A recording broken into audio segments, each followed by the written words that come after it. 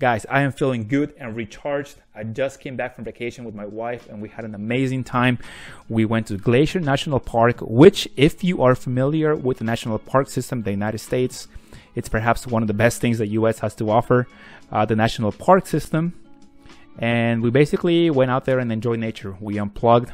We, we were mostly unplugged for approximately a week. And let me tell you, it was an amazing experience, unforgettable, unforgettable.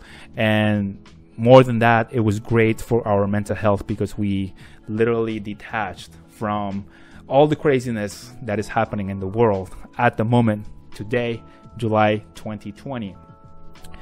All right, so I'm here, I'm recharged and ready to provide you with a lot more useful content.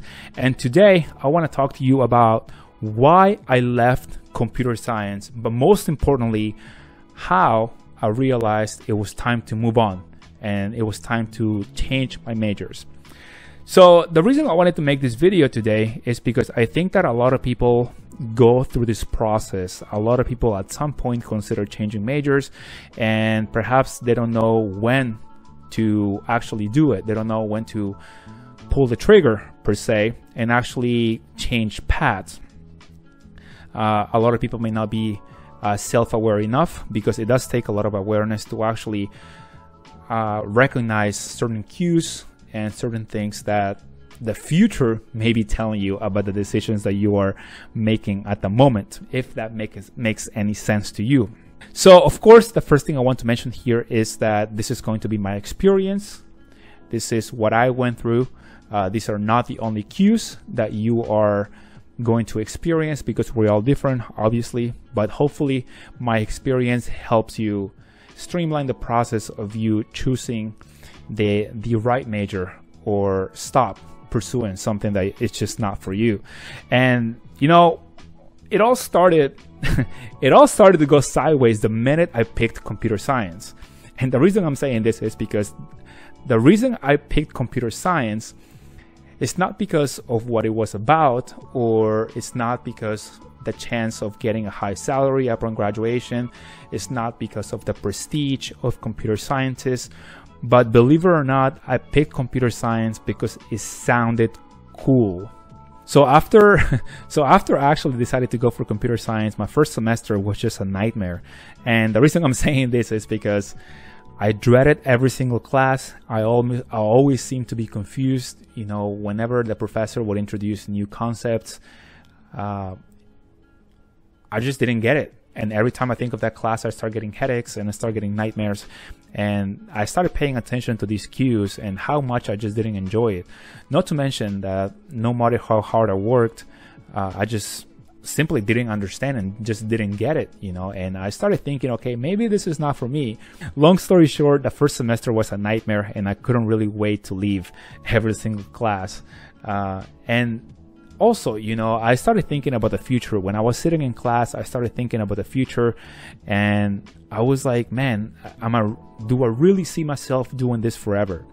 Do I really see myself sitting in front of a computer, growing a hunchback, debugging, writing code for at least, I don't know, a couple of years after graduation? And not to mention all through college, of course. And it just it just didn't sit well with me and I and I didn't like the vision that I started having. And so that's when probably towards the end of the first semester of computer science when I took computer science 101 per se or 201 um, I started thinking okay maybe this is not for me. So I ended up getting a B in the class long story short and the second semester, when I joined the class again, I was being a little stubborn. Maybe I didn't really, at that point, I hadn't really got the cues of whether or not I should quit computer science. But I showed up to my first class of the second semester, and at that point, I realized this is not for me. I remember the subject of the first class of computer science was arrays. And if you are a computer science nerd or a savvy, that may be really easy to understand for you. But for me, someone that just does not think in terms of programming, at least not in in an advanced manner, it, oh, at that point I realized, you know what, this whole thing is not for me. And so after the very first class, I wasted no time and decided to just quit computer science and change my major. So I ended up changing my major to mechanical engineering and I transferred to Virginia Tech eventually and I graduated in 2012. So what are the lessons that I want to take away from this video? So the first the first part here is I'm going to give you some lessons to take away from this video and then I'm going to give you some cues to look for if you are trying to change your major. So the first part here is the lessons uh, from my story and from my experience is that number one is that programming was not a waste of time. Programming is extremely useful, especially me as a mechanical engineer. Uh, certainly ran into my fair share of programming. Of course, very very basic, but going through that to the to that first semester of computer science and learning a little bit about Java and programming languages in general was very very useful in my career. The second takeaway is that going from a first semester in computer science was not a complete waste of time. And I'm saying this because it helped me be a little more self aware. It helped me realize what I was not into. A lot of times, when you don't know what you're into, a good first step is to find out what you're not into, what you don't like, what you're not interested in. And that is going to help you kind of clear the path and going to help you find out or figure out what you really like and your interest. The third lesson that I want to mention here is that I was, this is not kind of a lesson, but I was, I want to mention that I was a little fortunate, fortunate because when I switched majors to mechanical engineering, a lot of the core classes like math and economics and all the stuff transfer from computer science to engineering, mechanical engineering. And so I didn't really have to take a lot of uh, extra classes to catch up with another major. Uh, keep in mind that this was this was my second year in college, so a lot of the classes from in different majors overlap for the first couple of years.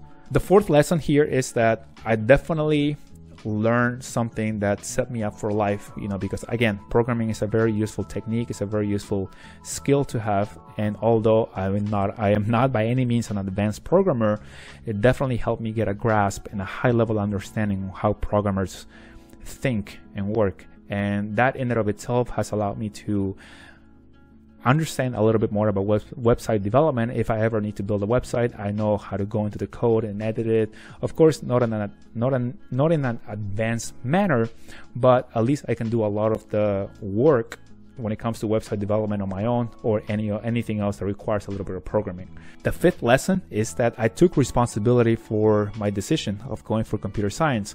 I didn't really sit back and complain about why I wasn't good at computer science, and I didn't really, I wasn't trying to change computer science as a major itself, but I took responsibility and I realized my weaknesses and I realized my strengths, and I decided, you know what, computer science is not for me. So I decided to give up on it and quit. But just keep in mind that just because I just because I gave up on it or or I quit computer science doesn't mean doesn't mean or it didn't mean that I quit on having an education. You know, because my goal of going to college was to get an education and learn marketable skills that that could help me make a living.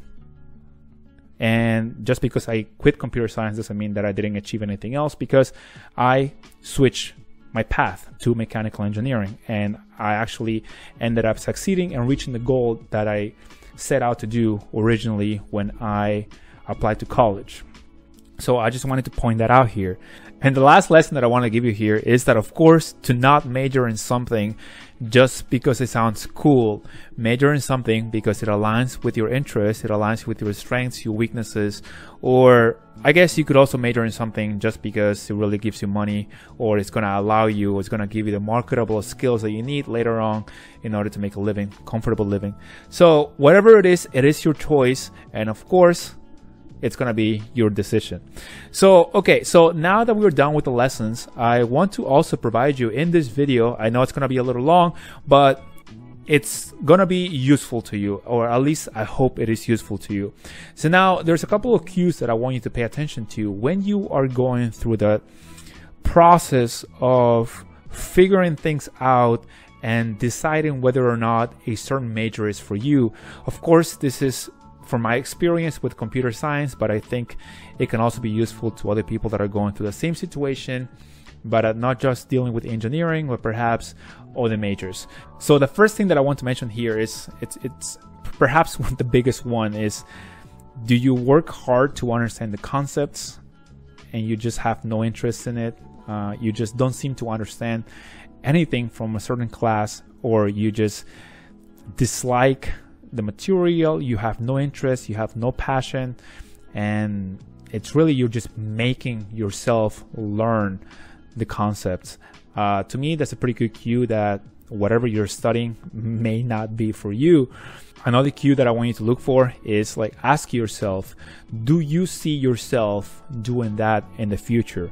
Do you see yourself practicing or applying the concepts that you're learning?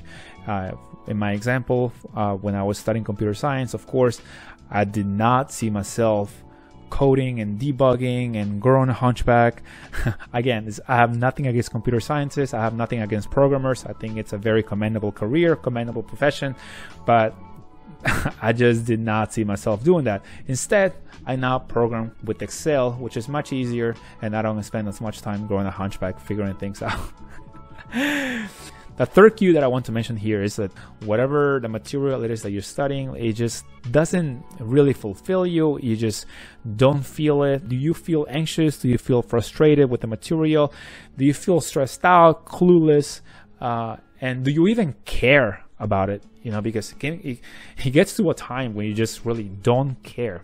And of course, I'm gonna I'm, I'm gonna make a disclaimer here because I'm not saying that you should you should you should switch your major just because it gets hard. That's not what I'm saying.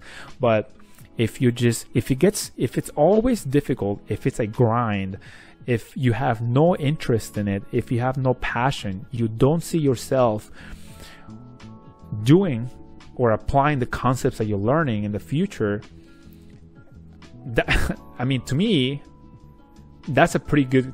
Those are all pretty good cues, and the future is telling you, or the world life is telling you, yo, this is not for you. This may th- so perhaps it's time to take another path or consider another path. So those are all the lessons and all the cues that I wanted to share with you in this video. So just remember that if you are someone who's debating on whether or not you should switch majors, remember to pay attention to the cues that I mentioned earlier. Pay attention to your behavior, uh, whether or not you see yourself or you visualize yourself doing or applying the concepts that you're learning in the future. Uh, be honest with yourself, and of course, be a little self-aware on when it comes to your strengths, your weaknesses, and the paths or careers or professions or majors that you want to take going forward. Okay, so with all that being said, guys, I hope this video was useful. If it was, please give it a thumbs up consider subscribing to the channel if you enjoy the content. And with all that being said, I'll see you guys on the next one. Peace.